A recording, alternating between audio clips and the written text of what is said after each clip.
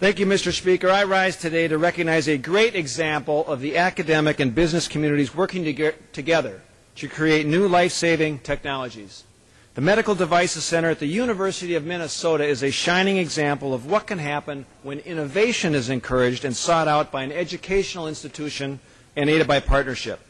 Last week I visited the university's Medical Devices Center and learned about this unique program that focuses on development of devices that have the strongest life-saving impact, partnering with others to also bring these products to market in the fastest manner possible. And you know what?